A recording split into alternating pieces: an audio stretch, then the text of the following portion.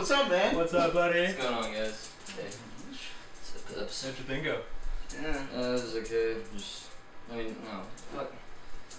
It's bullshit, man. These things are rigged. These, these award shows, you know. It's it's bullshit. They're rigged. They're, they're they're they're fixed from the start. They pick the person that they want to win to be the next poster boy, the next you know star of the industry and everything. It's it's bullshit. I mean, But you have so much talent. yeah, but it's not. It doesn't matter. They they pick the person they want to win, and it just it doesn't doesn't matter what anybody else actually thinks. It doesn't matter about talent. Doesn't matter about any of that. It's bu- bullshit. It's bullshit. And I'm no dude. Honestly, I'm. I love it. I just I. I can't do it anymore. I'm tired of bureaucracy. Well, I guess intramural soccer is not for everybody. Glad you guys are my friends.